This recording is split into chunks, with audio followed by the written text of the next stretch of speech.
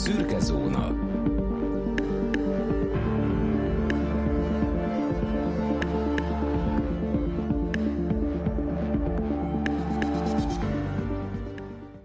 Köszöntjük a kedves hallgatókat, ez itt a Szürke Zóna Podcast, a mikrofonnál Rezső, valamint állandó vendégem Dani. Sziasztok! A mai napon a tolvajkergetőkről fogunk beszélni. Tolvajkergetőkről szerintem mindannyian hallhattatok. Youtube-on volt egy több évados ilyen websorozat, hogy úgy mondjam, rendkívül érdekes és izgalmas volt. Ez egy civil szervezet volt, amely arra szakosodott, hogy gyakorlatilag ilyen budapesti belvárosi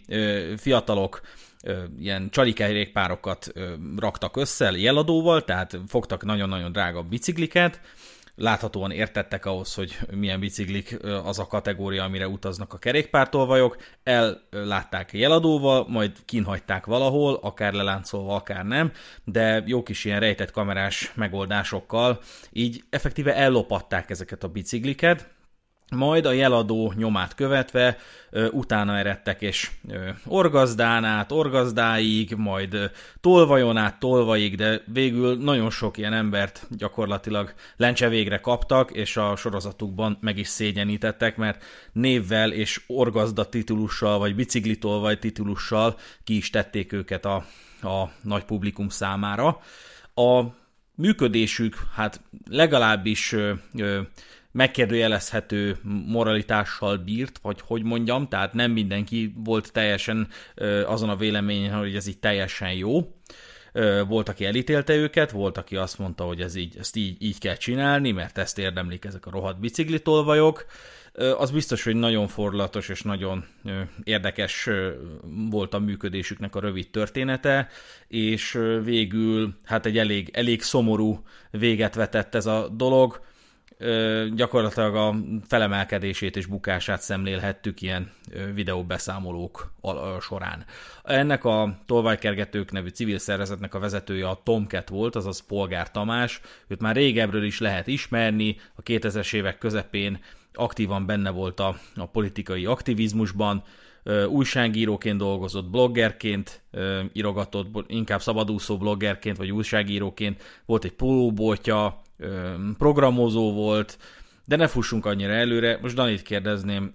mi a benyomásod a tolvajkergetőkről? Én egyébként nagyon kedveltem azt a sorozatot, és annak ellenére, hogy azért szerintem voltak érdekes pillanatok benne, amikor úgy megkérdőjelezhető volt a szituáció, vagy hogy ugye maguk kergetők hogyan reagáltak le dolgokat, de ezt leszámítva szerintem ez egy, ez egy olyan piaci rést, vagy nem tudom minek nevezzem, töltött ki, ami ugye a mi kis hazánkban ezt, a, ezt az önbíráskodós, igazságtevős vonalat ö, ö, járta végig, járta meg, és hát nyilván ö, azért sokszor összetűzésbe kerültek, és hát meglepő módon nem feltétlenül a tolvajokkal. Ö, nagyon, nagyon érdekes volt szerintem, voltak benne ugye visszatérő elemek, visszatérő figurák, maga a, a Tomcat-nek a hát a történetével én annyira nem voltam tisztában, csak ugye amikor így az évek során így, így mondogattál egy-két történetet róla, hogy éppen mikor, hol, mit csinált, akkor úgy valamennyit elraktároztam ezekből az információkból, de, de annyira nem követtem, és akkor ugye, és akkor összeraktam a képet, hogy hú, akinek magában a műsorban, tehát aki nem a narrátor, hanem aki a, a, a fő beszélőke ott a helyszínen, hogy ez a Tomcat, akkor úgy, ú, igen, hát egy nem feltétlenül a legszimpatikusabb figura, meg néha tényleg kicsit olyan érdekesek közelíti meg a dolgokat. Aztán nyilván utána még rájöttem én is egy-két dologra, akár általad, akár az internet által, a, ami nyilván a tolvai kergetők sorsát egy picit megpecsételte, és hát én sajnálom, mert ugye ez egy egyre jobban bővülő dolog volt, és ugye a végén már nem csak Budapestről szólt, hanem egyéb nagyobb városokról is, de igen, én nagyon-nagyon kedveltem, és, és valahol sajnálom azért, hogy ez így, ez így meghiúsult ilyen formában. Akkor már mindjárt az elején megragadnám az alkalmat, kicsit tisztázni bizonyos fogalmakat. Az önbíráskodás kifejezés elhangzott, és hogyha utána olvastak a tolvajkergetőknek, rájöhettek, hogy hogy cikk, cikkek, nem csak cikkek, de, de rendőrségi anyagok, sőt, nyomozást megindító okmányok, okiratok hivatkoznak a a, a,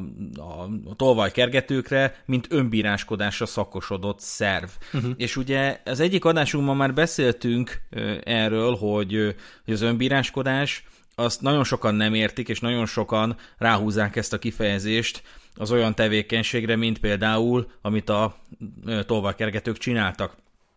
Nagyon sokan azt hiszik, hogy az önbíráskodás az az, amikor hívnod kellene a rendőrséget, de nem teszed, hanem inkább te aktivizálod magadat, és te majd érvényt szerzel itt. Az érvényszerzés kifejezésben egyezik az önbíráskodás valódi fogalma. A BTK 368. paragrafusa, tehát a büntető törvénykönyvünk ezen paragrafusa, a, szerint a önbíráskodás az, hogy aki abból a célból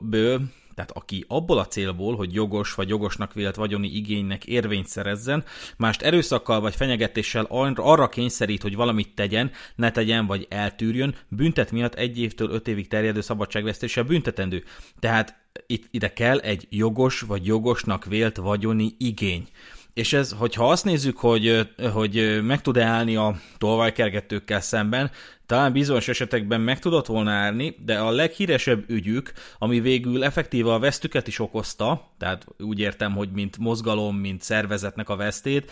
ott is az volt, hogy a nyomozást önbíráskodás vágyával avagy gyanúja, gyanúja alapján indították el, és ezt végül a bírónak kellett helyreigazítania, vagy az ügyésznek, nem tudom pontosan, hogy, hogy ez nem önbíráskodás, és az az eljárás az teljesen másról szólt. Uh-huh. Az az eljárás konkrétan társtettesként elkövetett testisértés, büntettében és társ tettesként elkövetett garázdaság büntettében állapította meg végül a tolvajkergetők meghatározott tagjainak a bűnösségét. Uh-huh. Később fogunk erről beszélni. Egyébként most így kicsit gondolkoztam azon, hogy, hogy pontosan mi is volt az, ami mondjuk nekem kevésbé volt szimpatikus a, a magában a műsorban, és ugye nemrég beszéltünk a Magyarország tagadókról, és, és valahogy most így belegondolva, meg ugye visszanézegetve egy-két jelenetet, én azt éreztem, hogy a Tomcat néha a, ezeknek a UCC hívőknek, vagy nevezzük akármiknek őket, a, a stílusával, tudod, ez az, ez az erőszakos, tolakodó ö, stílusa volt, és szerintem egy, egy alaphelyzetben valószínűleg azért ez is ö, nehezítette a dolgokat, hogy, hogy mondjuk a, akár a rendőrséggel, vagy akár kivel, érted, hogyha elkezdesz így bánni, akkor szerintem ez már egy alapja lehet annak, hogy, hogy talán nem feltétlenül ö, hallgatnak rád azután, és próbálják mindenképpen megúszni azt, hogy utána veled legyen dolguk. Hát a Tomcatről elmondható, hogy, hogy egy nagyon-nagyon határozott figura, tehát azt, azt mi megirigyelhetnénk azt a határozottságot, ami, amit ő képvisel, tehát vagy te, vagy, vagy én, de nem biztos, hogy mi olyanok vagyunk, akik így viszonylag könnyedén lecsűrnénk valakinek egy pofont, nem mint hogyha szükségünk lenne rá, nem mint hogy erre buzdítánk akárkit, de, de lehet, hogy bizonyos élethelyzetben erre szükség lehet, és, és hát mi azért az átlagembernél szerintem többet kellene arra készülnünk, hogy az a pofon el is süljön, viszont a Tomcatnek még az átlagembernél kevesebbet is kell arra készülnie, hogy, hogy, hogy lekeverjen egy pofont, és ez csak egy, egy hogy is mondjam, egy példa, nem a pofon a lényeg, hanem egész egyszerűen eh, ahhoz, amit ő csinált, ahhoz kellett egy, egy bizonyos fokú határozottság, hogy, hogy ne akadj fönn, hogy ne fagyjál le, hogy ne állj meg abban, amit éppen aktívan tenni akarsz, és, és, és ő ezt képviselte, emel, és egyébként ez ennek köszönhető az, hogy, hogy rengeteg ilyen kis követője volt, idézve valakit, gyakorlatilag ilyen kis panelprolikból rakta össze a kis követő brigádját, és tényleg, hogyha megnézel ilyen korábbi felvételeket, láthatod, hogy az ilyen kis tizenéves, ilyen kis kapucnis, kis panellakó gyerekek, azok, azok iszonyatosan felnéztek rá, és gyakorlatilag a tolvajkergetők is, mint hogyha úgy tűnt volna, hogy úgy indult el, hogy ezekből a, az ilyen kis valamilyen utat vehemensen kutatni vágyó kis fiatalok, akik, akik keresnek valami funkciót maguknak az életben, meg keresik azt, hogy valaki betöltse az apa szerepet, a, a, a követhető arhetipusnak a szerepét az életükben, na ezekből épült fel az a kis követőbázis, mm. amivel, amivel rendelkezett, és ez nem egyszer volt egyébként a kritikája, hogy nem ezeknek kellene kedvezni, hanem inkább a nagyobb és kultúráltabb tömegeknek lehet talán azt mondani, hogy már a Tomcat elvonatkoztatott attól a követőbázistól, és inkább sokkal jobban kiterjesztette és általános, általánosságba vette azt a, azt a megközelítést, amivel bizonyos rétegekre hatni szán, vagy szándékozik. És amellett, hogy ő ilyen rettentően határozott csávó, amellett rendkívül értelmes, és ezt iszonyatosan a, a javára kell írni, mert rendkívül tájékozott, rendkívül intelligens, ne, nem jogász, de engem körülbelül 6 perc alatt iskolázna le. És én, én egy jó jogásznak tartom magam, de, de, de különösen büntetőjogi dolgokban ő sokkal, de sokkal tájékozottabb nálam. Lehet, lehet nyilván azért, mert volt egy-két ügye, Ö,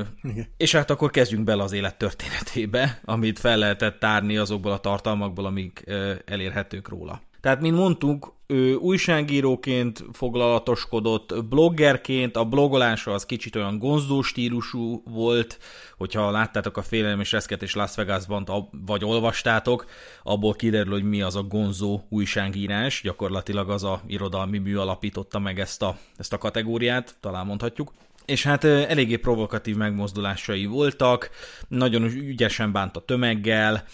politikai térben rendkívül aktív személyiség volt, és olyan olyan aktivitása volt, ami addig példanélküli volt Magyarországon, tehát, tehát például azt hiszem ő csinálta azt meg, hogy, hogy láthatósági mellénybe és egy ilyen kiherélt AK-val, vagy talán még csak nem is igazi AK-47-es volt, hanem egy, hanem egy, egy replika, de azzal így messze mászkált Budapesten, elment a Teve utcába is, meg hasonlók, tehát hogy így provokálta a, a karhatalmat, hogy nézzétek, még es, ennyiben se állítotok meg, pedig itt mászkálok egy AK-47-essel, és ugye azt érteni kell, hogy 2006 körül teljesen más volt a politikai klíma, Igen. mint most. Tehát a, a 2006-os úgynevezett elkurt forradalom végül elhozta nekünk a, az úgynevezett rendőratakot, amit nevezzünk így, amikor is ugye sor került arra, hogy a, a rendőrség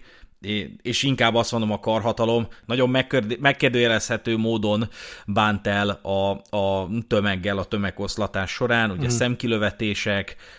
erőszak a, a, azokkal a a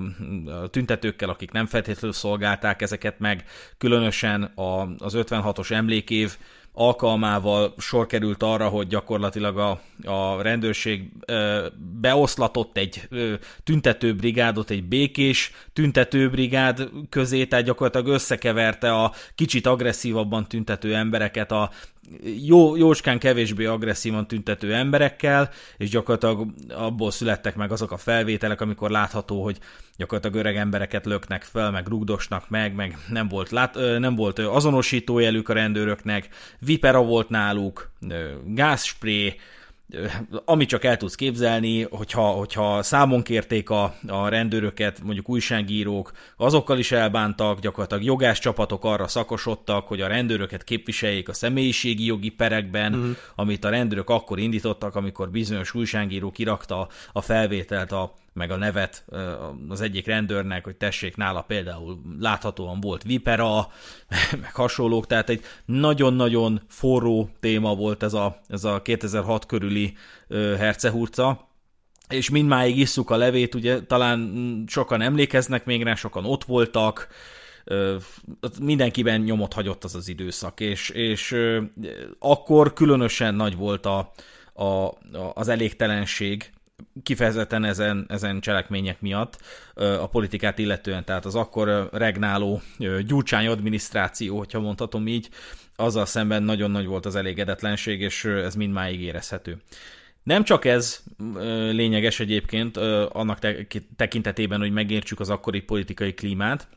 de azt értsük, hogy akkor egy baloldali polaritású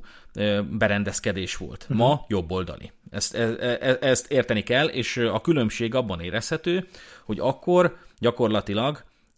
és ezt a Tomcat demonstrálta is effektíve, hogyha egy, egy kisebb, jobboldali csoport szervezett valami, valami megmozdulást, bárhol, tehát 10-20 fős jobboldali csoport demonstratíve akart valamit csinálni Budapest utcáin valahol, akkor arra egy több száz fős antifasiszta brigád jelent meg, és elkezdtek tüntetni velük szemben, majd ezeket kellett széttömegoszlatni. Egy, ilyen, egy ilyennek tanulja volt a Tomket is, ha jól emlékszem, tehát, tehát volt egy olyan, olyan klímája akkor a politikának, hogy gyakorlatilag ilyen felhevült, ilyen antifasiszta hozzáállás volt érezhető. Én egyébként tök sokáig gondoltam azt, hogy hogy vannak, vannak kommunisták és vannak fasiszták, ez gyakorlatilag, ahogy így tizenéves koromban így egyre jobban érdekelt a történelem, így azt hittem, hogy ez tényleg így helytálló, hogy így, meg hát tudjátok, hallgattuk a felnőtteket a, a osztálytársaimmal, hogy az komcsi, az náci, és, és így azt hittük, hogy tényleg vannak még ilyen komcsik nácik, aztán rájöttünk, hogy nincsenek, illetve én rájöttem már, hogy nincsenek komcsik, meg nincsenek nácik, hanem antikomcsik, meg antinácik vannak, de az jó jóval több, mint,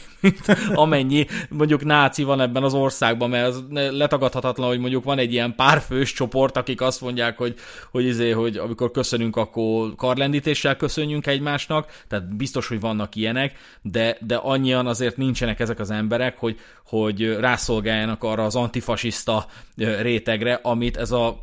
magyar kultúra kitermelt magából, vagy magyar társadalom kitermelt magából és személyes véleményem, hogy, hogy már, már azt gondolom, hogy még anti fasiszták meg antikommunisták sincsenek kifejezetten ma, hmm. hanem mindenki náci. Tehát mindenki náci a kihasználhatóság mértékéig, ez így pontosabb. Ugyanis mindenki idegen gyűlölő. Tehát mindenki fél attól, és tart, és óckodik attól, amit nem ért. És amikor olyan felmérések vannak, hogy, hogy gyűlöli-e ön a pirézeket, ugye volt egy ilyen, egy ilyen kreált, hamis, meghamis, nem hamisított meg, de, de, de egy, ilyen, egy ilyen kicsit félreérthetően megfogalmazott közvéleménykutatás, hogy egy olyan kisebbséget hazudtak be a, a célcsoportnak, ami nincs is, tehát a pirézek az azt hiszem portugálul jelenti a, a kalózt, és gyakorlatilag az, az lett az eredménye a közvéleménykutatásnak, hogy mindenki gyűlöli a pirézeket, de ha megvizsgáltad a közvéleménykutatást, rájöhettél, hogy nem azt kérdezték, hogy ön gyűlöli a pirézeket, hanem azt kérdezték, hogy ön szeretné-e, hogy a gyermeke egy piréz mellé üljön az iskolában. És erre természetesen mindenki azt mondja, hogy nem, de azt már nem tudja hozzátenni, hogy azért, mert fogalmam sincs, hogy mi az, és hagyd ne kelljen már olyan mellé, olyasmi mellé ültetnem a gyerekemet, ami mi, amitről nem tudom, hogy micsoda. És Hát ez az én személyes véleményem, hogy a kihasználhatóság mértékéig effektíven mindenki beosszunjad a lappangó náci. Igen, hát nyilvánvalóan ö, ugye meg, me, megfogadtuk, hogy azért annyira nem fogunk politizálni ebben a műsorban. Itt most nyilván fontos az, azért, hogy megértsük, hogy ki is az a Tomcat. De ja, hát például ugye a demokrácia önmagában ezért tud veszélyes lenni, mert mert ugye ha, ha jól tudsz manipulálni, akkor ugye annyira eltorzult számokat, véleményeket, akármiket kaphatsz, hogy bármi ellen lehet ezeket a dolgokat fordítani, mert hát a nép ezt mondta. Úgyhogy igen. És hát pont a 2006-os eseményekhez vezethető vissza az az eset, amikor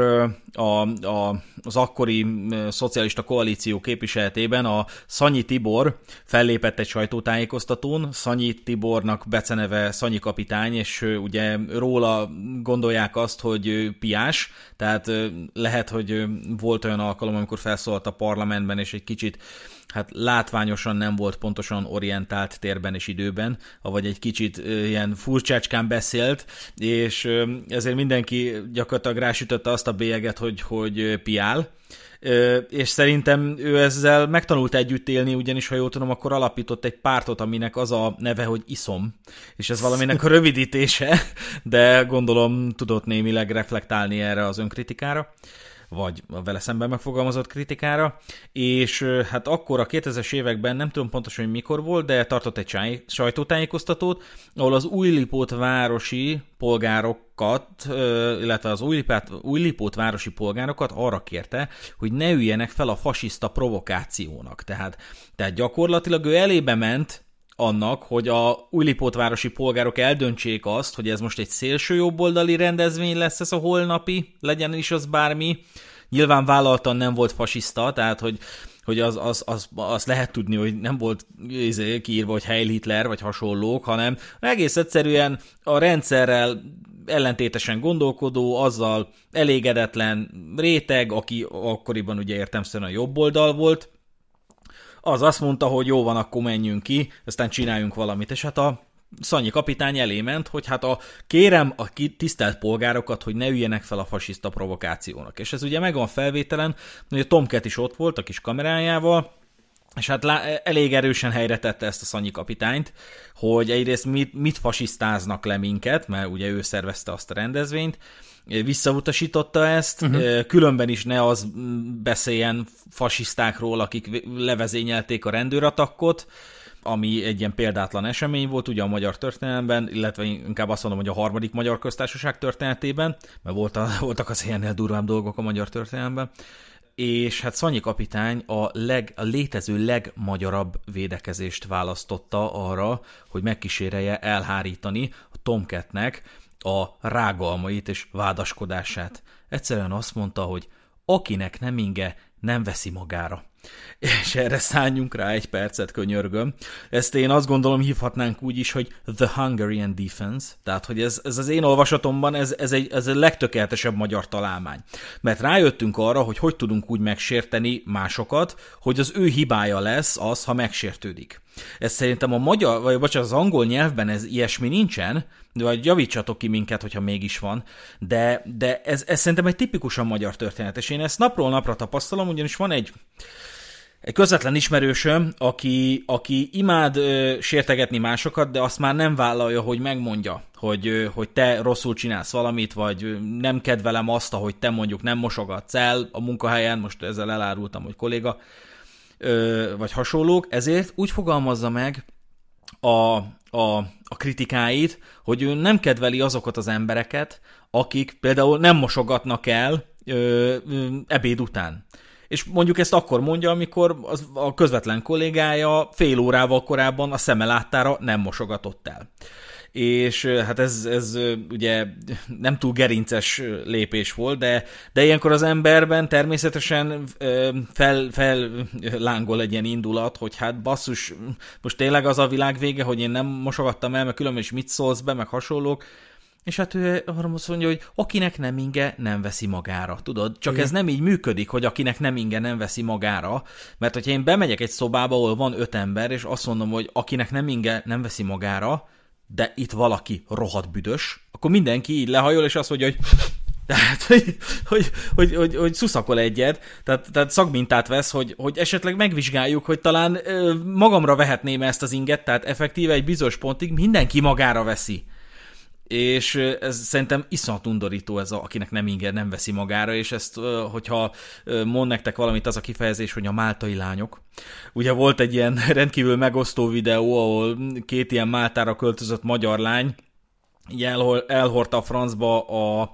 magyar egyetemistákat, meg gyakorlatilag mindenkit utálnak, csak ők a tökéletesek, akik így felkerekedtek, és kimentek Máltára, és csináltak egy saját egzisztenciát, és gyakorlatilag nem volt ember Magyarországon, aki ne nyilatkozott volna meg velük szemben. Majd a második videójukban közölték, hogy hát akinek nem ingen nem veszi magára. ez a Hungarian Defense. Na és hát visszatérve a Szanyi kapitány ugye ezzel, ezzel terelte el a, a, a kellemetlen figyelmet magáról, hogy azt mondta, hogy akinek nem veszi, nem ingyen nem veszi magára, de hát hogy a Tomket mondta, hogy holnap az általam szervezett rendezvény lesz, amivel kapcsolatban a Szanyi kapitány mondta, hogy, hogy, hogy ne üljenek fel a fasiszta provokációnak, úgyhogy értelemszerűen nekem célozta, csak nem nevezett engem meg, és hát elhordta a Szanyi kapitány mindennek, hogy, hogy maga löv, maguk lövetik ki az emberek szemét, meg maguk teszik tönkre ezt az országot, meg magukat utálja már mindenki, és hát a Szanyi, Szanyiba belefagyott a vér, hogy most ezt, ezt hogy reagálja. Még párszor elmondta, hogy akinek nem inge, nem veszi magára, aztán hozzátette, hogy ez egy sajtótájékoztató, aztán így ennyibe maradt. A másik ügye a Tomcatnek, ami híressé tette még a 2000-es évek közepén, az az úgynevezett bombagyár ügy. Ez adta végül a blogjának a, nevét is. mert hogy a Tomcat-et megpróbálták a, a, a, a nyomozó hatóság és egyéb szervek ilyen füstbomba, avagy éles bomba gyártásával meggyanúsítani. El is mesélte a történetét különböző műsorokban, akkor elég gyakran hívták be egyébként a reggeli műsorokba, nem tudom egyébként miért, illetőleg különböző rádióműsorokban is megkérdezték őt, hogy akkor mi emögött a történet. Gyakorlatilag az volt a hatóságnak az állítása, hogy ilyen bomba, bombagyártással alkalmas eszközökkel kapták rajta. Ezt egyébként lehet tudni, hogy a hatóságok figyelik a, a, az egyébként bármilyen egyszerű boltban megkapható alapanyagoknak a nagymértékű vásárlását, tehát például lehet tudni, hogy a műtrágya az egy fontos alapanyaga bizonyos bombáknak a gyártásának, és ezért jól tudom, a hatóság figyeli is azt, hogy ki milyen mértékben vagy mennyiségben vásárol műtrágyát. Uh-huh. Ennél mélyebben már nem tudom ennek a folyamatnak a részleteit de az a sztori, hogy a Tomcat elment egy barátjához Cseperre, de az nem volt otthon, viszont annak az anyja, akivel jóba volt, az otthon volt. És kicsit beszélgettek, és az anyja mondta, hogy az a leát akar nevelni. Ez egy növény, egy rendkívül kényes növény, és Tomcat akkor tájt olvasott utána neki, hogy káliumnitrátot kell hozzátenni. Egyébként ezt el is hozta akkor a, a nőnek, megvett a boltban két kilós ventillált kémport, de azt egy borász haverja kérte meg, hogy vegye meg neki, mert a gombák ellen kellett neki, vagy valami hasonló, meg minek után nagy bevásárlása volt, cukrot is vett, és hát elmondása szerint közben jutott eszébe, hogy mindenből füstbombát lehet csinálni, és ezt meg is egyezte a későbbi megnyilvánulásaiban, megnyilvánulásaiban hogy, hogy a füstbomba egyébként tömegoszlatás alkalmával elég hasznos tud lenni, mert ugye a, a karhatalom egész egyszerűen nem látja, hogy hol az a tömeg, Igen. amit oszlatni kell, nem tud ö, tömegbe lövetni, ö, akár ugye gumilövedékkel is, de hát tudhatjuk, hogy a 2006-os történet az érintett olyasmit, hogy gyakorlatilag szemmagasságba lövöldöztek gumilövedékkel, tényleg kilőtték emberek szemét. Tehát a rendőratak miatt ennek volt jelentősége, és hát a hatóság gyakorlatilag betört hozzájuk, lebilincselték őket, nem tudom hány óráig ott tartották a hideg kövön, mindenféle őrült dolgokat felvettek a jegyzőkönyvbe, ezt ki akarták őket hallgatni, de ugye a gyanúsítottként nem vagy köteles olyan ö, ö, beismerő vallomást tenni, amivel magadat vagy a hozzátartozódat gyakorlatilag bűncselekménnyel vádolnád meg de azt hiszem a Tomcat ott jelezte is, hogy, hogy ő ezt, ezt, ezzel így akkor nem él, de mondta a, a, az eljáró személy, hogy, hogy akkor viszont tanúként hallgatlak meg, vagy a Tomcat ítélte így, hogy akkor tanúként akarja meghallgatni, de akkor, mond, mert akkor igazmondási kötelezettsége van, uh-huh. de mondta, hogy akkor meg nem emlékszem rá, tehát egy kicsit furcsán mesélte el a sztorit, meg nem, nem is biztos, ez csak az ő állítása volt, hogy hát ő pont, pont nagy bevásárláson volt, és mindenféle dolgot megvett, ami, ami bombagyártáshoz volt alkalmas, de tök mindegy, nem lett ebből semmi, tehát nem, nem ítélték el, ha jól tudom, de tévedhetek, nem tudtam teljes mértékben utána nézni. Hát érdekes egyébként, hogy, hogy alapból honnan tudja, hogy ezek a dolgok alkalmasak lennének bombagyártásra, vagy legalábbis fősbombának a gyártására, mert nyilván én is néztem mondjuk egy, egy Breaking Bad sorozatot, aminek volt hasonló jelenete pont, hogy ugye valaki bevásárol egy ilyen, nem tudom milyen boltban, és a főszereplő meg oda megy, hogy ó, látom, te, te ezt is ezt szeretnél csinálni, akkor ezt ne, ne így csináld, ne egy helyen vásároljál be, te hülye szóval olyan alapból érdekes kérdés, hogy mondjuk a Tomcat honnan,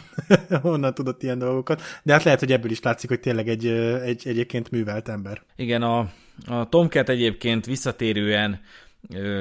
titulálta az ellene folyó eljárásokat koncepciózusnak, és azt gondolom, hogy meg lehetett a, az alapja annak, hogy ő ezt jogosnak ítélje ezt a megállapítást, tehát elmondása szerint bizonyos tüntetéseken ilyen be, be, idézőjelesen beépített civil, rend, civil ruhás rendőrök követték őket, nagyon béna ilyen, ilyen burleszk filmekbe illeszkedő jelenetekbe fordultak ezek a követések, Egyébként meg a, emlékszem egy eljárására, ami pont az ilyen bombagyártó történet miatt volt, ott a bírónőt nagyon feldűítette, mert ugye a, gyakorlatilag amikor megkérdezi elsőként, hogy akkor nyilatkozzon meg valamit, vagy mondja el a, az ügyel kapcsolatos dolgait, akkor ugye mindig baj van, amikor feláll a vádlott, és elővesz egy ilyen 30 oldalnyi szöveget, ott bajban vannak ugye a bírók, hogy azért nem szeretnénk egész nap itt lenni, mert vannak itt más tárgyalások is, amik be vannak rakva mára, és hát nagyon már, már emlékszem az eljárásban már, már amiatt feszültség volt, hogy a Tomcat nem mondhatta el, amit szeretett volna elmondani. És a bírónő állandóan félbeszakította, akkor a Tomcat mondta, hogy hát de nem tudom végigmondani, mert állandóan félbeszakít, akkor a Tomcat elkezdte félbeszakítgatni a bírónőt, akkor a bírónő lett dühös, hogy de mikor én beszélek, akkor én beszélek, de még mindig én beszéltem, tehát látszott, hogy dühös volt. De egy a lényeg, egyébként ezek a gyorsított tárgyalások, ezek ezeknek egy tanulsága volt, hogy többször azt mondta, többször mondta a Tomcat a, a neki föltett kérdésre, hogy erre nem válaszolok. És ezt nagyon sokan elfelejthetik szerintem bírósági eljárásban, és ezt az amerikai filmek, meg a, meg a dokumentumfilmek is próbálják hangsúlyozni, hogy mindig, mindig legyen ott veled egy jogász, amikor kihallgatnak téged, az ügyvéded mindig legyen ott, mert ehhez egyrészt jogod van, Másrészt a, a, a jogász tudja észrevenni azt, amikor olyasmit kérdeznek tőled,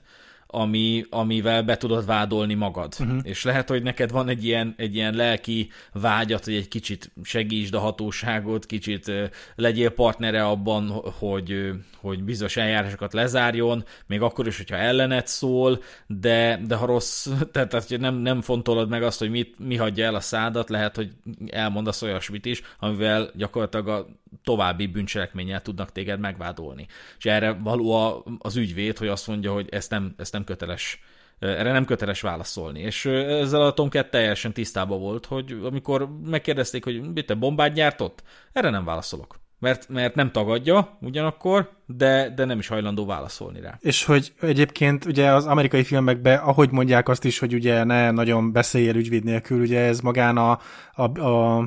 a bíróságon is előfordulhat, hogy ugye beülsz a székbe, és akkor neked mondanod kell, a, a válaszolnod kell a kérdésekre, és ugye Amerikában van ez a I plead the fifth, tehát hogy az ötödik, nem tudom, alkotmányos jogomra hivatkozok, vagy valami, hogy itt Magyarországon is van valami hasonló? Igen, az, amikor ők a, az ötödik kiegészítésre hivatkoznak, akkor való igaz az Egyesült Államok alkotmányának ötödik számú kiegészítésére hivatkoznak, ami most itt van előttem, ha jól megnézem, akkor szinte teljesen azonos a Magyarországon önvádra kötelezés tilalmaként emlegetett alapelvel, ami pontosan ez, amiről eddig beszéltünk, hogy nem lehet téged kötelezni arra, hogy olyan nyilatkozatot tegyél,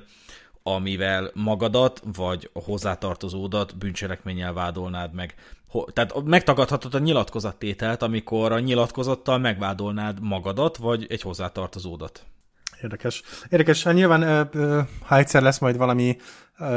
témánk, ahol egy, egy egész műsort erre fordíthatunk, akkor biztos nagyon érdekes dolgok vannak, mert például nekem egyből felmerült a kérdés, hogy, hogy igen, de hogyha ott ezt a, kihasználod ezt a I plead the fifth dolgot, akkor ugye ott egy esküdszék, akiknek te befolyásolhatod már ezzel a, a véleményüket, de hogy akkor ez Magyarországon hogy néz ki. De mindegy, ne is nagyon menjünk ebbe a részébe bele, a lényeg az az, hogy a Tomcatnek ebbe is van, akkor ezek szerint rengeteg tapasztalata. Akkor tájt, ugye, mint mondtam, rengeteg ilyen reggeli műsorba hívták be, akkor még a Csiszár Jenő volt a TV2-nek a reggeli műsorának a műsorvezetője, és hát Csiszár Jenőnek nem volt még teljesen letisztult képe a saját választott média szerepéről. Ezért valamiért folyton behívta a Tomketet, aki folyton felmosta vele a padlót. Nem tudom ezt miért élvezte, de hát próbált egy ilyen, egy ilyen nagyon ilyen, ilyen, ilyen határozott, ilyen belevaló, ilyen, ilyen, ilyen reggeli műsoros, talán a mai ö, Kárász Robert akart lenni, és Kárász Roberthez sikerült, Kárász Roberthez hasonlóan neki is sikerült, és gyakorlatilag behívta a Tomketet, így szembesítette azzal, hogy, hogy ha ezt te se gondolt komolyan, hogy te majd itt az alá akartál nevelni, amikor hát pontosan lehet tudni, hogy ezekből a dolgokból bombát lehet csinálni,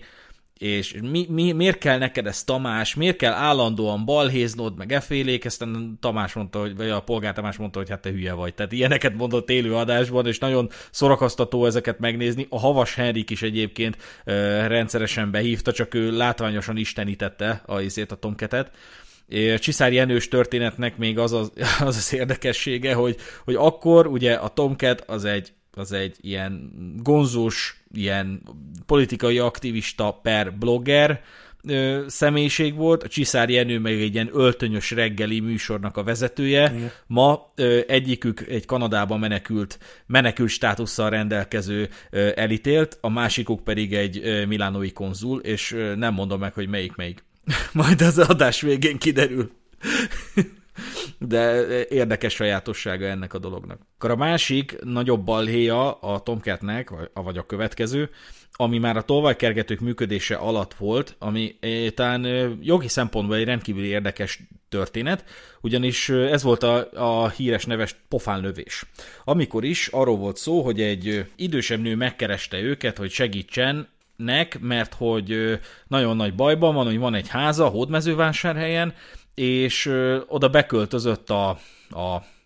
a lánya, meg annak az ilyen HVC helyi vagánycsávó faszia. És hogy gyakorlatilag kergetik el, meg már nagyon, nagyon erőszakosan bánnak vele, meg ez a, ez a faszi, ez látványosan egy ilyen, tényleg egy ilyen nagy, nagy ilyen, ilyen vagánycsávó volt, tehát ezt nem tudom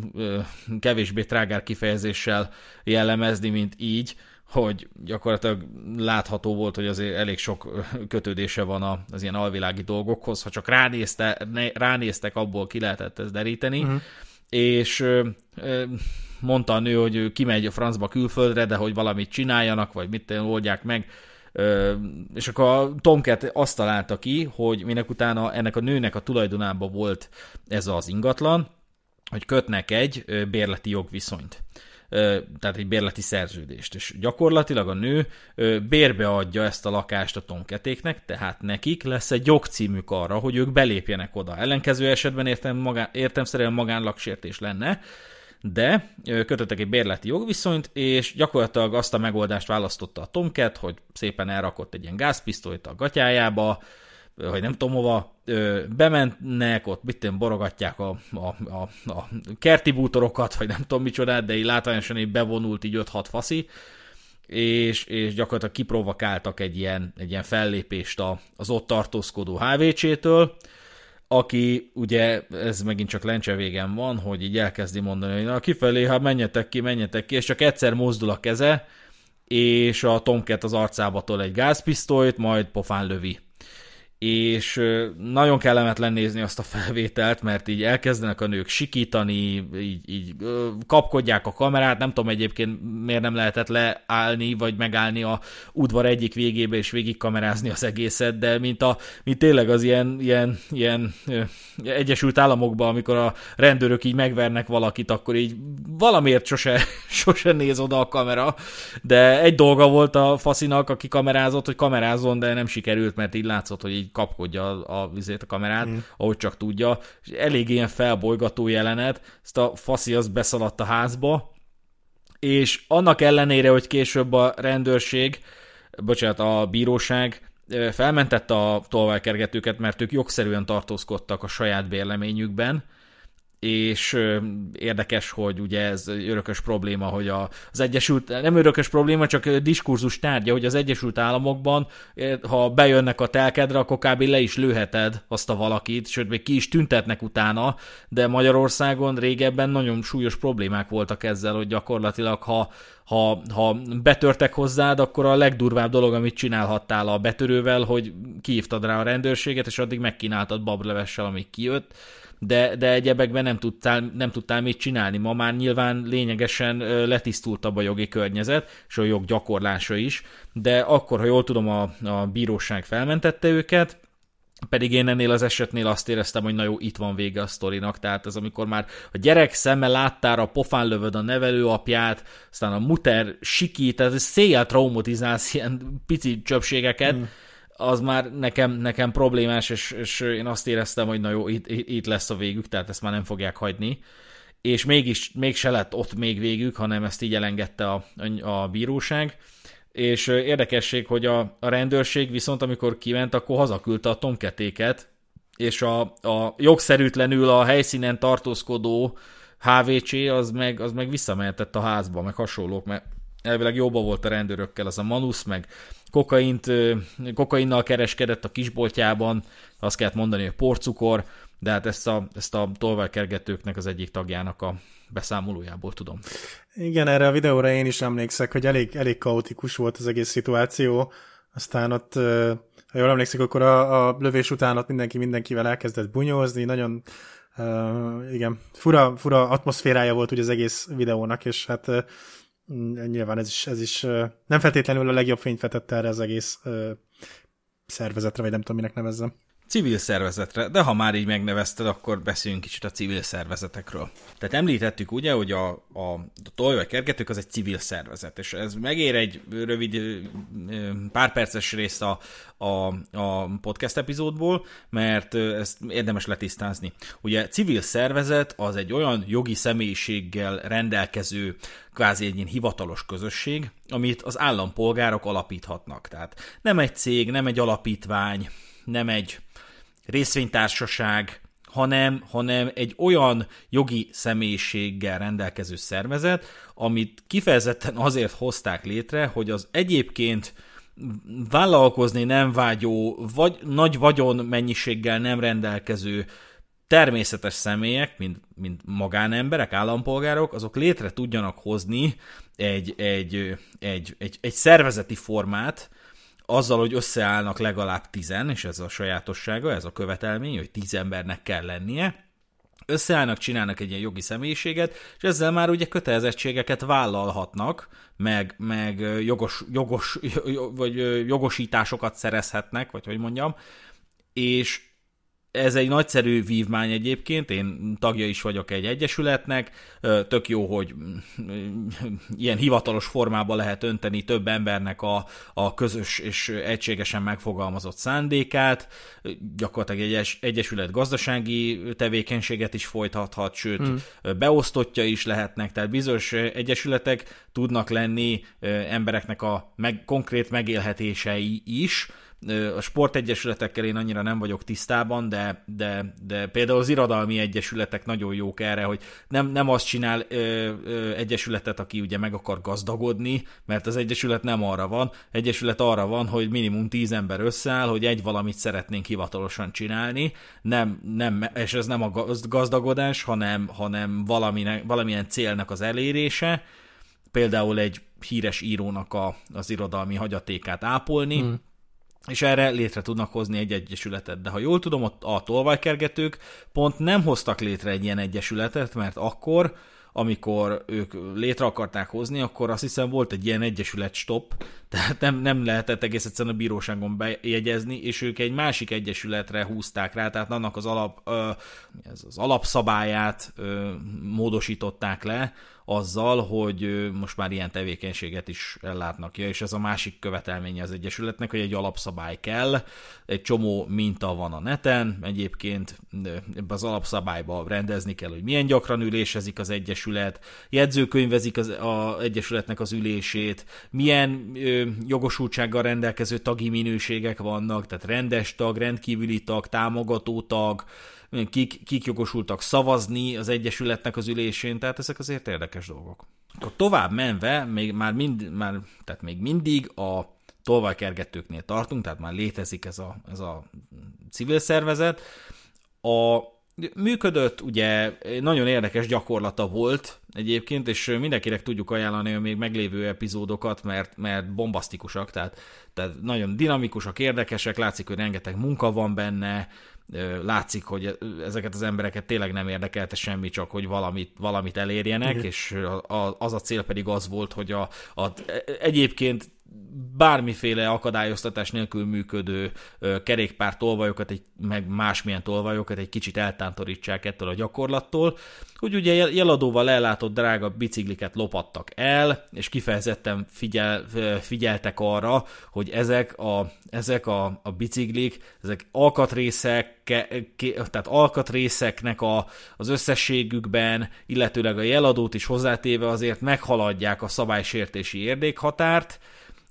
vagy egyéb értékhatárt, amikor már komolyabban kell ugye a hatóságnak mérlegelnie, meg komolyabban kell vizsgálnia, hogy itt most bűncselekmény történt-e vagy sem. Egyébként a nyomozó hatóság rendszeresen próbálta csökkenteni ezeket az értékhatárokat, tehát nem vette hozzá a jeladót, meg hasonlók, tehát ők nagyon figyelnek arra, hogy, hogy ne kelljen dolgozni, ezt ugye szerintem elég gyakran elmondtuk ebben az epizód, vagy ebben a podcastben, hogy azért a magyar rendőrség az a magyar rendőrség, tehát a magyar rendőrség nem az, aki behív téged az irodába, így lerakja eléd a kávét, aztán így leül, és így mondja, hogy el fogjuk kapni, ne aggódjon, csak egy kis időt kérünk. Tehát nem, nem, ők pont, amikor bementél, pontosan tudják, hogy ebből semmi nem lesz, hogy ezt le fogjuk zárni, ezt el fogunk téged küldeni a büdös francba, és azt írjuk majd a határozatra, vagy a végzésre, hogy bűncselekmény hiányában a feljelentést elutasítom, de addigra már fél év el fog telni, és már nem is lesz kedved az egésszel foglalkozni.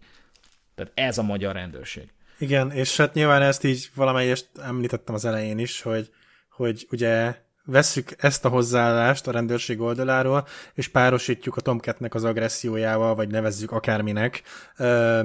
és nyilvánvalóan egyre csak idegesítőbb és idegesítőbb lesz, és pont, pont az ellenkezőjét fogja elérni a Tomcat a, a rámenőségével, és inkább hamarabb el fogják őt, ö, ö, el fogják őt zavarni, ahelyett, hogy, hogy megpróbáljanak neki segíteni, és hiába Ö, tudod, ilyenkor ráadásul meg nem is tudom, tudálékosnak vagy milyennek tűnik, mert hiába van ő tisztában azzal, hogy most lehet, hogy ők X rendőrkapitányságon vannak, de hogy igazából ez Y rendőrkapitányság alá tartozik, és hogy igazából csak beszélni kéne azokkal a rendőrökkel, meg azzal a kapitányjal, de nyilvánvalóan e, el fogják őt onnan zavarni, hogy e, bocsi, figyelj, már beszéltünk velük, és már, már nem, sajnos nem, nem tudnak vádat emelni, meg ilyesmi, és hát igen, egyébként azért nem tudom, hogy ki mennyire van tisztában vele, de emlékeim szerint ezek a biciklik darabja 300-400 ezer forint volt csak maga a bicikli, és akkor valóban nem beszélünk még a különböző uh, cuccokról, amiket belepakoltak annak érdekében, hogy, hogy ugye le tudják követni a, a cangákat, uh, és tudtommal voltak esetek, amikor akár 3-4-5 darab különböző uh, metodikával is megpróbálták követni a, a bicikliken. Uh, és azért itt ezen a ponton hozzátenném, hogy azért szerintem nagyon-nagyon ijesztő, hogy milyen hatékonysággal, milyen, milyen uh, brutális hatékonysággal és sebességgel képesek ezek az emberek elkötni a bicikliket, tehát így ö, belenéztem ugye néhány videóban megint, hogy kicsit felfrissítsem a, a memóriámat, és gyakorlatilag oda mész egy erővágóval, elvágod a láncot, de így pik-pak, már is vágtad a láncot, felültél a biciklire, és el is tekertél. És, és szerintem e, ez is csak azt mutatja, hogy mennyi időt és energiát bele kell fektetni abba, hogy gyakorlatilag egy olyan bűncselekményt, vagy akármit, nem, tehát ez nem feltétlenül ugye bűncselekmény még, szabálysértés, tök mindegy, de hogy egy ilyet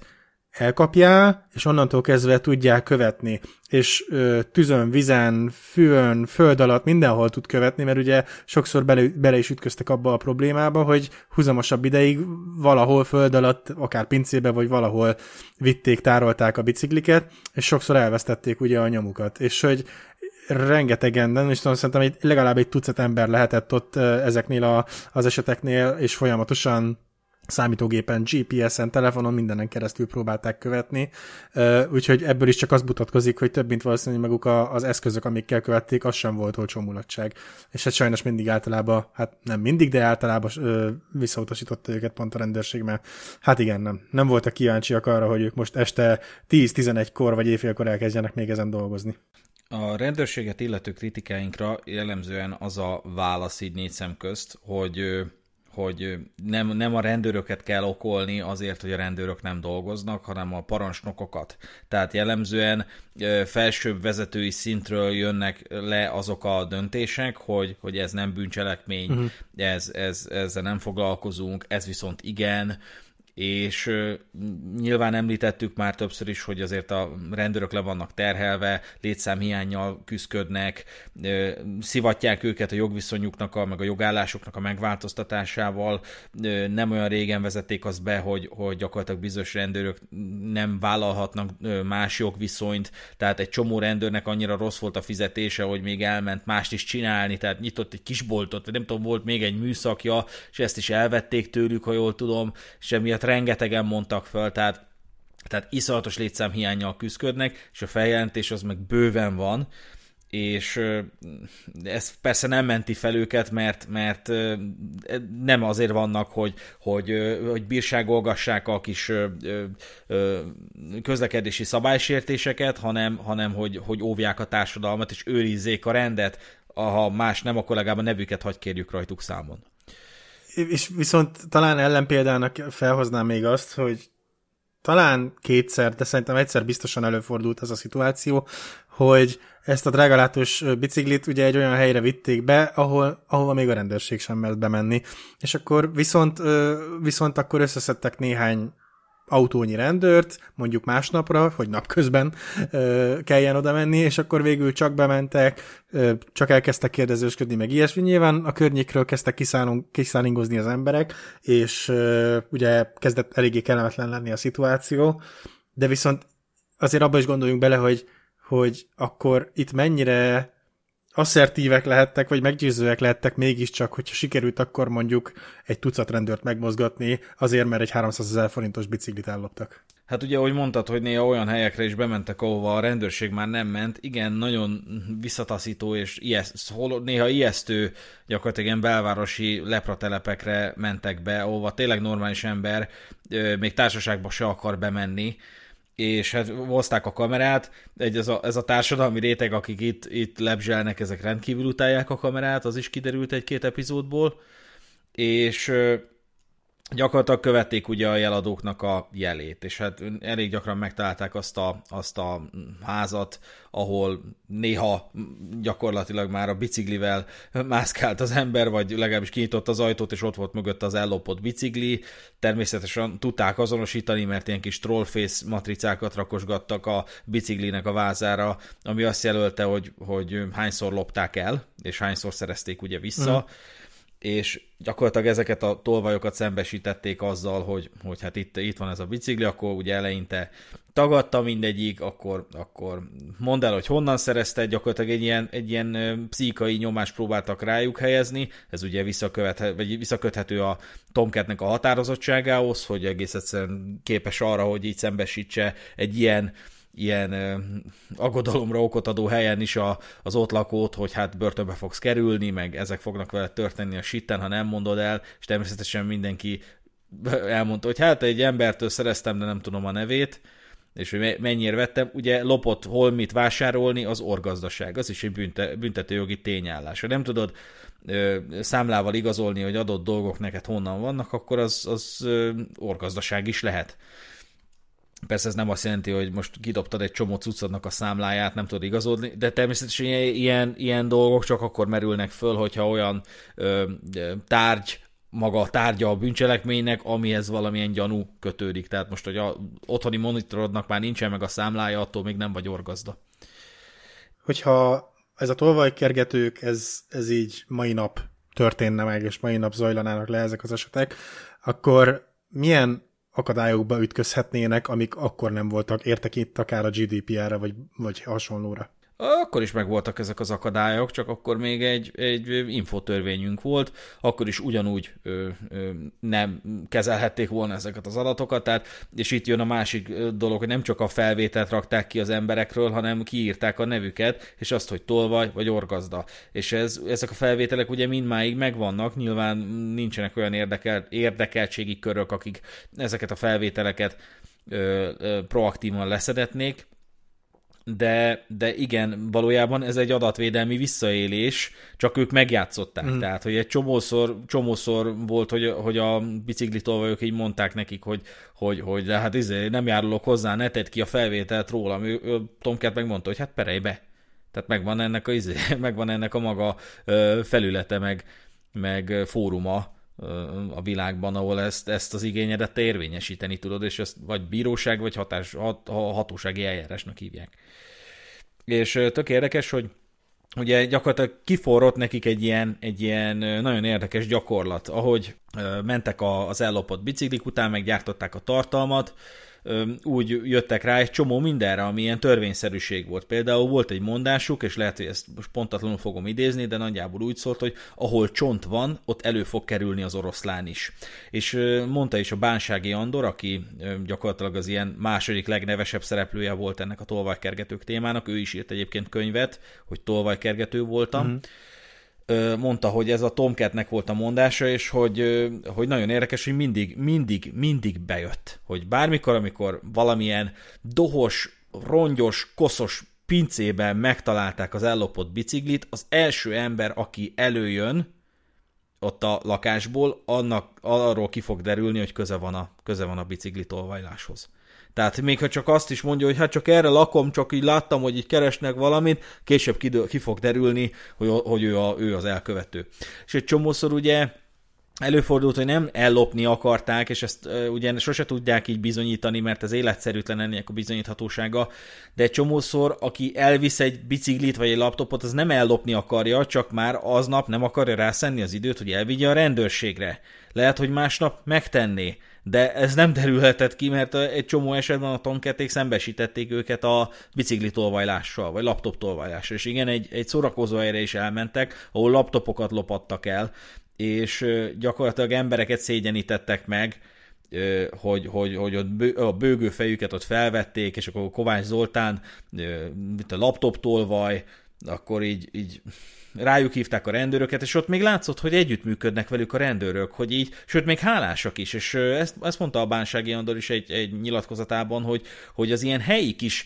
kis rendőrmakik, azok, azok, azok még örülnek is nekik, hogy, hogy nem nekik kell ezt a munkát elvégezniük, és segítik őket, de, de parancsnoki dimenzióban már, már nagyon aggályos volt a karhatalomnak a tolvajkergetők. Igen.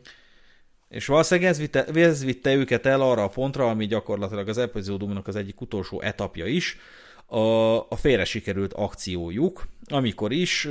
gyakorlatilag egy ugye bicikli tolvajlással gyanúsítható srácot lekövettek, majd szembesítették őt a, a gyanúsításukkal, és számon kérték őt. És, és ez egy olyan ügy volt, amiből, amiből rendőrségi, később bírósági ügy lett, és az lett a vége, hogy, hogy elítélték a, a tolvajkergetőket. Tehát előre bocsátom, valószínűleg ez volt az a pont, amikor a, a karhatalom azt mondta, hogy ez, ezek nem mehetnek tovább. Tehát ezt, ezt így nem, nem fogjuk tudni csinálni.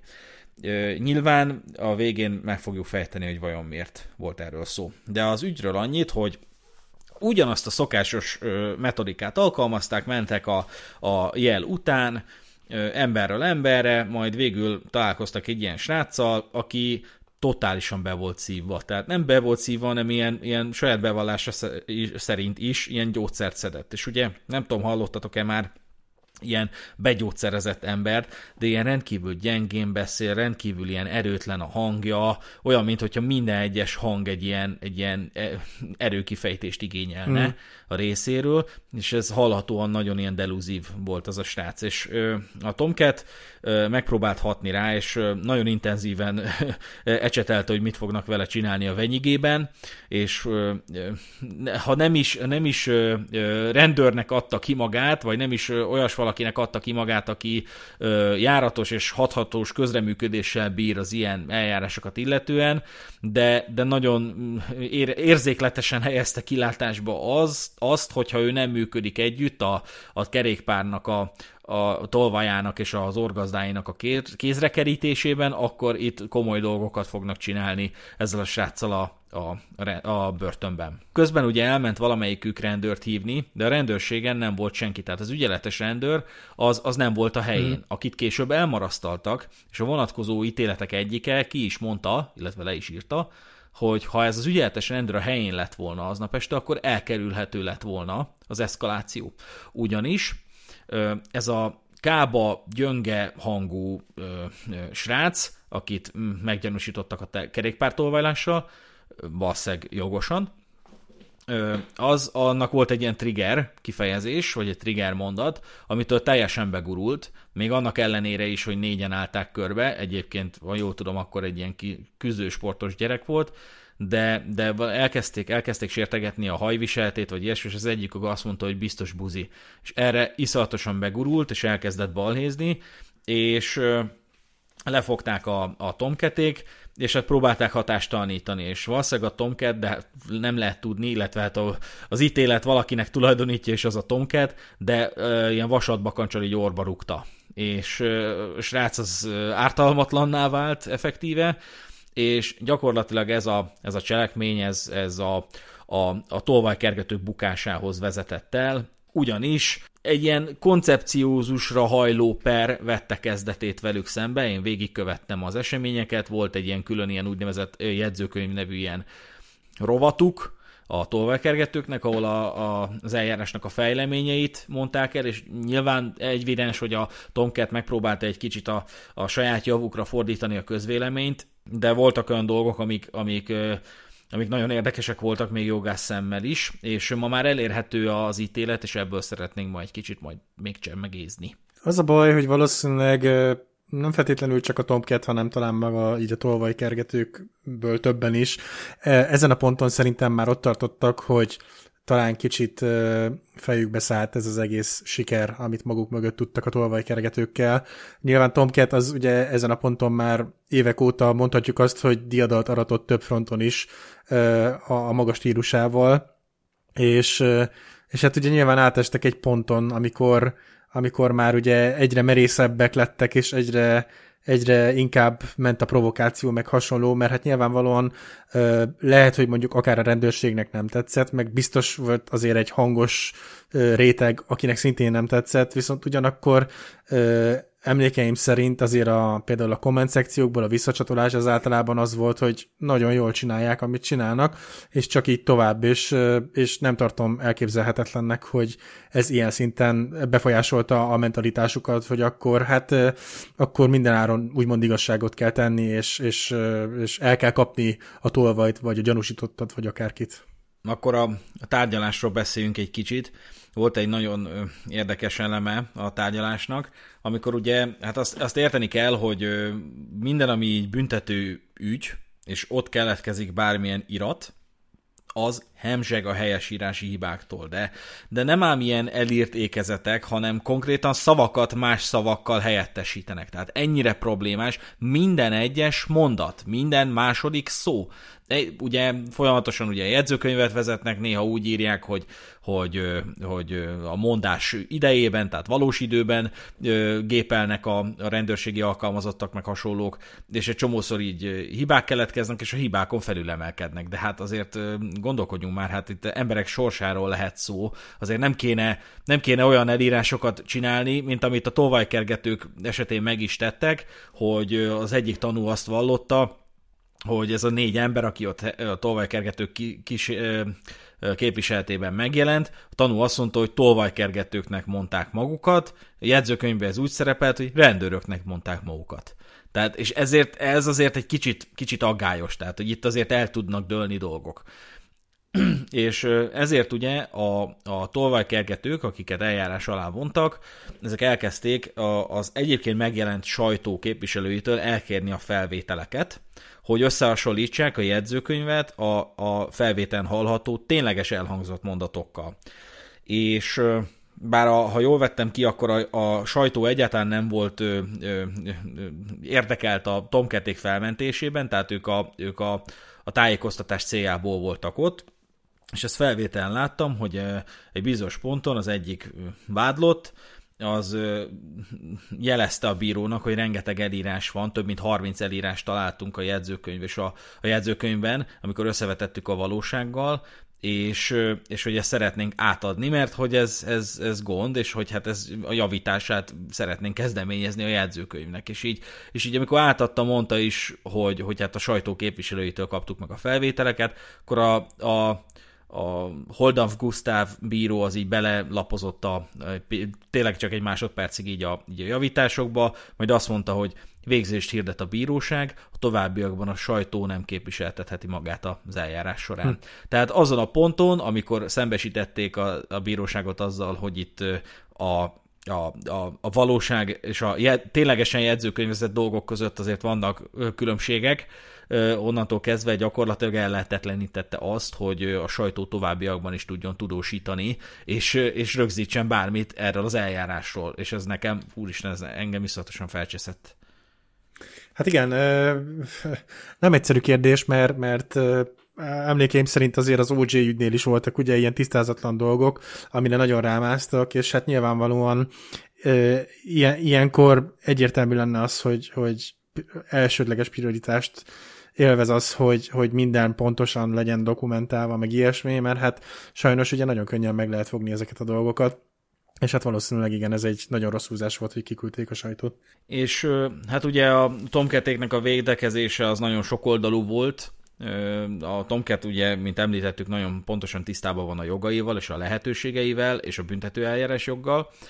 és ehhez kötődően ö, ö, igyekeztek közösségi finanszírozásból többek közt, de egy saját szakértőt hívni, mert ugye az igazságügyi orvos szakértők azok láthatóan a, a, a, a vádnak a javára ö, orvos szakértenek, tehát nagyon ritkán van az, hogy híva az igazságszolgáltatás egy hivatásos igazságügyi orvos szakértőt, aki végül azt mondja, hogy vagy olyan megállapítást tesz, ami a, a, a vádlottak javára szól. Tehát ez, ez, egy, ez egy diszfunkciója egyébként a magyar igazságszolgáltatásnak, hogy effektíve nincsenek független orvos szakértők az eljárásban. És ők finanszíroztak közösségi irányból egy ilyen, egy ilyen független orvosszakértőt, aki nagyon sok olyan megállapítást tett, ami egy kicsit pozitívan befolyásolja a, befolyásolta volna az ő ítéletüket, mert hogy ugye például jelezte, hogy egyrészt a, a srác, aki aki a sértetje volt ennek a, az eljárásnak, akit egyébként az eljárás során tanúként is úgy hoztak, hogy vezető száron, mm. tehát már, már eleve börtönbüntetését töltött, töltötte a, a sértett, amikor ennek a másik ügynek a, a, a behívták, mint, mint tanú és hát az orvos szakértői vélemény az, az kitért arra, hogy ez a srác annyira be volt gyógyszerezve, hogy a vallomása, amit aznap este, este megtett, vagy nem tudom, nem is tudom mikor, de nem sokkal az esemény után, de hogy az, az nem lehetett volna egyszerűen egy, egy, egy, egy gyanúsításnak az alapja. Tehát bármit mond, az egy, az egy delúzív, megbízhatatlan dolog, amire nem lehet egy gyanúsítást alapozni, de hát a, a bíróság, meg hát a, az, az igazságügyi orvosszakértők úgy voltak vele, hogy, hogy nem. Hát onnantól kezdve, hogy tudja, hogy a földbolygón él, és tudja, hogy nem tudom, hanyadik évet írjuk, onnantól kezdve ő tőle elvárható az, hogy egy, egy megbízható és hiteles tanúvallomást tegyen. Emiatt egyébként a bíróság több bizonyítékot kirekesztett, mármint a bizonyításból, sőt bizonyos kirekesztési igényeknek nem adott helyt, így például az orvos, a független orvosszakértői vélemény, véleményt, mint bizonyítékot fel se használta, amit a tomketék összetarháltak, vagy annak a lóvéját összetarhálták, mert ugye az az orvosszakértői vélemény úgy született meg, hogy nem volt kapcsolata a a, nem volt közvetlen kapcsolata a, a vizsgálatának tárgyát, vagy alanyát képező sértettel. Mm. És ez az úgynevezett 20. számú módszertani levéllel nincsen pariban, mert hogy nem lehet az adott személy tényleges vizsgálata nélkül bizonyítékként felhasználni egy orvos szakértői véleményt. És ezt csak azért mondom, mert ugye aki büntetőeljárásokban gondolkodik, aznak mindig az ilyen O.J. Simpsonos dolgok jutnak eszébe, hogy bizonyítékokat kizárni, meg hogy mi van akkor, ha a bizony, bizonyítéknak a hitelesség az megkérdőjelezhetővé válik, akkor mi van, és ugye mindig mondom, hogy hát a magyar bíróság az megint csak más, mert ő mondhatja azt, hogy ezt a bizonyítékot nem használom fel, ennek viszont hitelt adok, még akkor is, hogyha, hogyha a forrását tekintve megbízhatatlan, vagy adott esetben megvan arra a lehetőség, hogy, hogy kontárkodtak vele, vagy valamit befolyásoltak a bizonyítékban, de kirekesztési igényeknek nem adok helyt, Hát ez a magyar igazságszolgáltatás. Akkor volt egy pont, amikor a terheltek, tehát a tolvajkergetők eljárásban résztvevő tagjai korábbi vallomásaikat negligálni akarták, és olyan nyilatkozatokat, nyilatkozatokat tettek, amik a saját javukra váltak volna. Érdekes, hogy az ítéletbe leírja a bíró, hogy emögött nem valós sérelem, hanem védekezési taktika áll. Én engem ez tökre meglepett, amikor olvastam az ítéletet, hogy ilyet leírhat egy bíró, hogy, hogy azt, ami, ahogy te védekezel, meg amilyen nyilatkozatokat teszel, én úgy ítélem, mint bíró, hogy nem egy valós sérelmet, sérelmnek adsz hangot, hanem egy védekezési taktikát érvényesítesz Hát e, e, e tekintetben döntött a bíró, hogy kirekezte bizonyos való, gyanúsítotti vallomásokat, vagy nem. És ugye érdekessége, hogy például az O.J. Simpson perének ugye az volt az egyik legmasszívabb mozzanata, hogy olyan rendőr vette fel az O.J. Simpson-t ö, ö, krimináló ö, bizonyítékokat, aki, akiről tudható, hogy, hogy rasszista volt. Igen. Nem rasszista, nem csak rasszista, fajgyűlölő. Ez két külön dolog és hát ugye, mint amit beszéltünk és hogy ilyenkor a bírónak van mérlegelési lehetősége, hogy befogad-e bizonyítékokat vagy nem. Csak ott még van egy lehetőség, hogy, hogy eldönti, hogy az esküdszék számára rendelkezésre bocsátja-e, vagy nem. Mert az esküdszéknek tévéhez sincsen hozzáférése akkor, amikor ők az eljárásban részt vesznek, nem, hogy bizonyos bizonyítékokat megtudhatnak, vagy a bizonyítékok száz százalékát hoz, hozzáférést szereznek, tehát amit nem, adnak, nem ad oda nekik a, nekik a bíró, azt nem fogják tudni megismerni. És az alapján nem fognak tudni dönteni, vagy ítélkezni. És volt még egy nagyon érdekes része az ítéletnek, amikor megnézték a sértett srácnak a, a sérülését, amiről, amire egyébként a Tomcat azt gondolja, hogy azt tuti, hogy nem aznap vették fel azt a látleletet, mert már így varrasodott a seb, meg már látszott, hogy, hogy, vagy pont az, hogy nem varrasodott, hanem nagyon friss volt, és már nem tudom, egy, egy nap, nap eltelt a, a sérülés óta, tehát a Tomcat azt gyanította, hogy ilyen smirglivel egy kicsit megdolgozták a srácot, hogy ilyen élénkebb legyen a sérülés, de ez megint csak az ő személyes véleménye, fogalmam sincs. De az ítéletben szerepel egy ilyen mondat, amikor arról beszélnek, hogy kinek tulajdonítható a, a sérülés, amit a srác elvez, elszenvedett, hogy a sértett bal arcfelén látható sérülés eszköznyom, Egyedi azonosításra nem alkalmas, de összehasonlítva Polgár Tamás, azaz az első, elsőrendű vádlott, cipőjével akár származhatott attól, mert a cipő járó felületének mintázata és a sérülés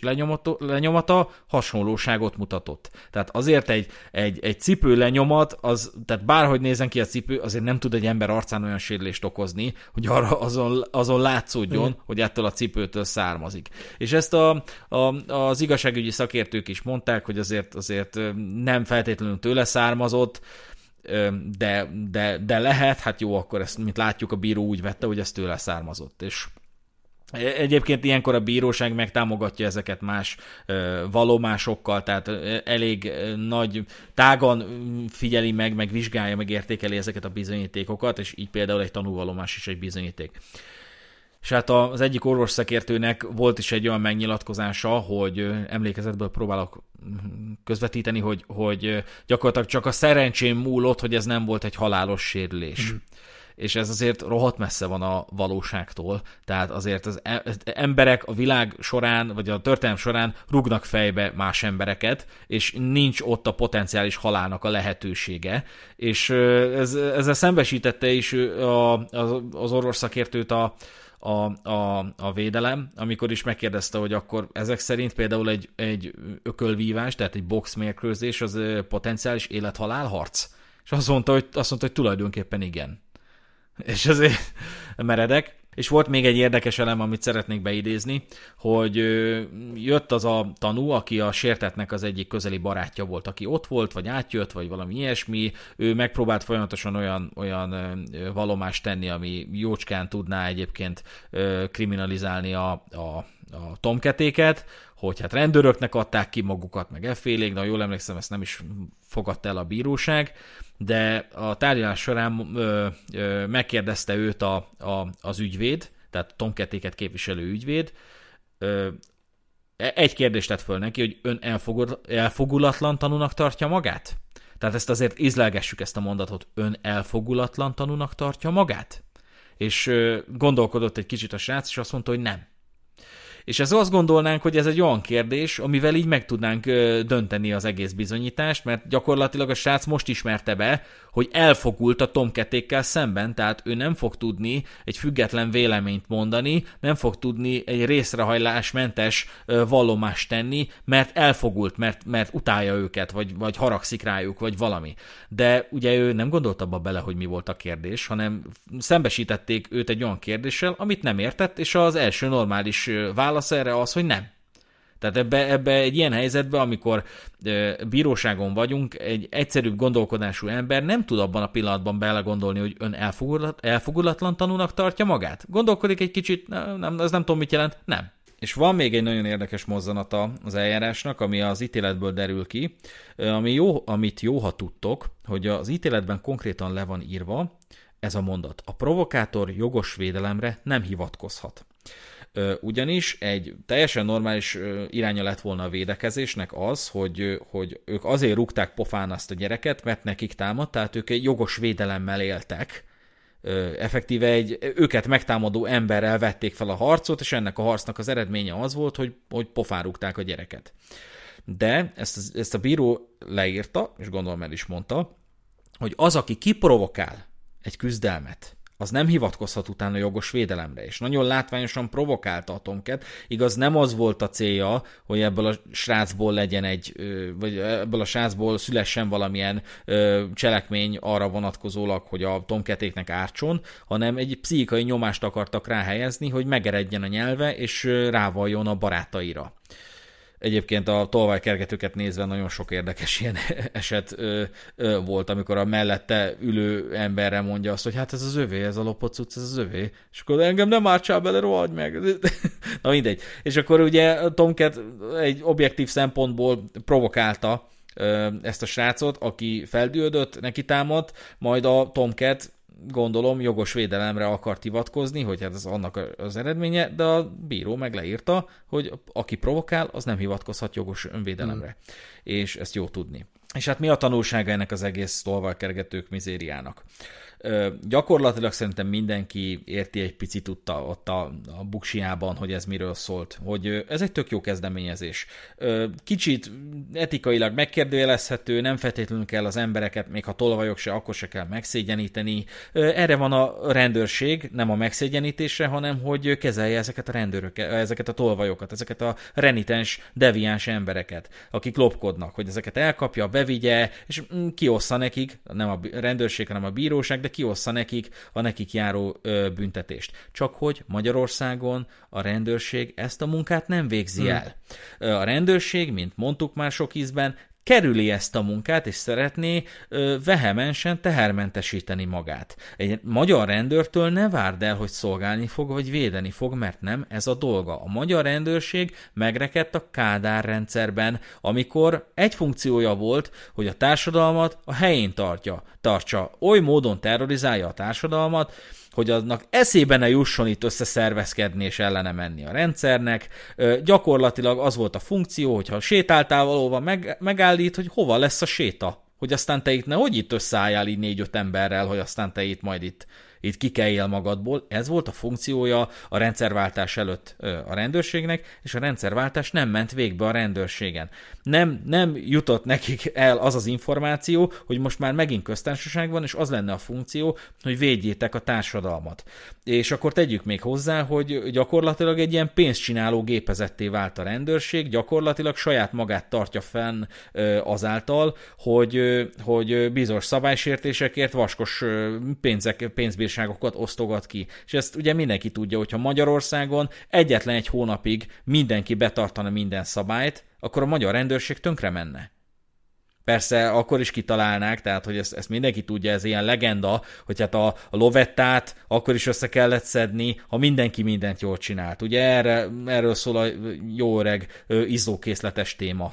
Hogy hát amikor minden rendben van, de hát a főnök, a, a parancsnok kiadta, hogy azt a, azt a sápot akkor is be kell szedni, akkor nézzük csak meg az izzókészletet, csak lesz már valami probléma, amire én kioszthatom azt a 30 ezret, és hát ez a magyar rendőrség. És ennek a rendőrségnek a tolvajkergetők nyújtott egy alternatívát. Nem a rendőrség számára, a társadalom számára. Megmutatta azt, hogy, hogy mi el tudjuk végezni azt a munkát ö, önszorgalomból, amit a rendőrség cseszik megcsinálni hogy mi, mi belefektetjük azt az energiát, amit a rendőr nem fog belefektetni, meg a nyomozó, hogy mi megszivatjuk a bűnözőket. Lehet, hogy egy kicsit javulni fog a, a, a közbiztonság azok után, hogy híre megy annak, hogy hallod, ne lopjál el, mert utána jönnek, ne lopjál semmit, mert utána jönnek, és, és fölraknak a, a, a YouTube-ra, és ráthívják a rendőrt. Ne lopd el azt a bringát és, és, na, és ezt hosszú távon nem tolerálhatta a karhatalom. Tehát ilyen nincsen. Még miről beszélünk, még, még, még jön itt valami civil szervezet, és így megmutatja, hogy így mit kellene csinálnunk alapból, na ezt ne. és ez a, ez a nagy-nagy igazság. Szerintem egy, egy nagyon jó kezdeményezés volt, csak igen, valahol azt érzem, hogy a kezdettől fogva úgymond bukásra volt ítélve, mert, mert valóban sajnos nagyon rossz ö, embereket, szerveket mutatott be, mondjuk úgy, hogy töketlennek, vagy akárminek, és ö, nyilvánvalóan a közrendőr adott esetben ezeknek a segítségeknek, meg, meg kezdeményezéseknek örülhet, de ugye a nagy képet nézve sajnos ez, ez eléggé rossz fényben tüntet föl, ö, tünteti föl akár a rendőröket, és, és viszont ugyanakkor meg én úgy gondolom, hogyha esetleg nem a, a Tomcat lett volna az arcának a tolvajkergetőknek, hanem egy olyan személy, aki nem feltétlenül rendelkezik egy ilyen érdekes múlttal, ami, ami ennyire át van itatva politikával, meg, meg nem feltétlenül annyira szókimondó mindennel kapcsolatban, akkor akár még lehet, hogy, hogy talán még a mai napig létezhetne tolvajkergető, bár szerintem nem feltétlenül, tehát akkor sem feltétlenül, de én azon a véleményem vagyok, hogy, hogy nem, volt, nem volt egy jó arc a Tomcat ennek az egésznek, és, és hát igen, sajnos az évek alatt nagyon eszkalálódtak a, az ügyek velük kapcsolatban, amik ugye megint csak nem tettek jót. Úgyhogy biztos van egy utópia, ahol léteznek ilyen civil szervezetek, és normálisan meg tudnak lenni a rendőrök mellett, mert hát sajnos az a helyzet, hogy azért az évek folyamán nem csökkentek a különböző biciklilopások, meg akármilyen lopások, úgyhogy nyilvánvalóan szükség lenne valami hasonlóra még ma is. Az eljárásnak ugye az lett az eredménye, hogy első fokon letöltendő szabadságvesztésre ítélték őket. A Tomcat-et biztosan, csak a Tomcat addigra már Kanadába menekült, és megkapta a menekült státuszt egyébként, és ő erről csinált is YouTube videót, meg beszámolt erről, sőt egyébként az eljárás alatt is megpróbálta félrevezetni a a, az ügyészséget, hogy küldött, küldetett valami ismerősével valami dél-amerikai országból egy képeslapot az ügyészségnek, nem tudom, hogy sikerült de egyébként megkísérelték kiad, nem tudom pontosan kiadatni, vagy valahogy megpróbálták, igen, megpróbálták érvényteleníteni az útlevelét, de addigra már késő volt, mm. addigra már kiutott, és a második fok viszont enyhítette ezeket, a, ezeket az ítéleteket, már felfüggesztett szabadságvesztésre ítél, enyhítette, tehát már nem kellett leülniük őket, de pár évig ugye gyakorlatilag ilyen próbaidőn voltak, bármilyen egyéb bűncselekményt elkövettek volna, az automatikusan letöltendőre változtatja a szabadságvesztést mondom, tehát hogyha van, most már gondolom nincs kétségetek, hogy nem Csiszár menekült ki Kanadába, hanem ő ment szépen a kis konzuli székecskéjébe, Milánóba. Ö, Tomcat kimenekült Kanadába, és most egy ilyen hát egy ilyen, szerintem hozzá méltatlan egy ilyen panellakásba lakik, egy ilyen ablaktalan kis lyukba, gyártja a tartalmait, határozott véleménye van mindenről, nem győzi hangsúlyozni, hogy nem lesz többet tolvajkergetés, már csak azért is nem, mert elvitte az összes létező legmagasabb fórumra is, gyakorlatilag már ilyen nemzetközi bíróságokon támadta meg a döntéseket, de visszadobták ezeket. És most Kanadában programozó, legutóbbi, eh, számomra legérdekesebb tartalma, amit mindenkinek nagyon-nagyon ajánlok, az a Kanada vlog, vagy nem tudom milyen néven volt, de hogy egy, azt hiszem egy két részes videósorozat, amikor is eh, bejárja autóval, bérelt autóval a pandémia kellős közepén Kanadát. És annyira érdekes dolgokba keveredik bele, meg, meg fordulatos, érdekes dolgokat mond, csinál egy ilyen utazó vlogot, de az ő személyiségével ez, ez tök érdekes lesz, meg tök érdekes, hogy végre, végre egyszer nem izé, egy kamerát dug a, a biciklitolvajnak az arcába, hanem hogy így beszélget a, azzal a nővel, aki, aki, aki abban a boltban dolgozik, ahol a Rambó elmotorozott a Rambo egynek a forgatásán, ugye Brit Kolumbiában, tehát hogy ilyen, ilyenek vannak, elmegy egyébként egy kanadai magyar településre, ami már ugye nem magyar, de magyar a neve, meg magyarok alapították, tehát így nagyon, nagyon érdekes, bejárja egész Kanadát, több napon keresztül, és én azt többször is megnéztem, mert annyira, annyira jó kis tartalom, tudom mindenkinek ajánlani. Úgyhogy ez volt az az epizódunk, amikor a tolvajkergetőkről beszélgettünk. Reméljük tetszett nektek, maradjatok továbbra is követőink. Ez volt a Szürke Zóna Podcast, én Rezső voltam, ő pedig Dani. Sziasztok! Sziasztok!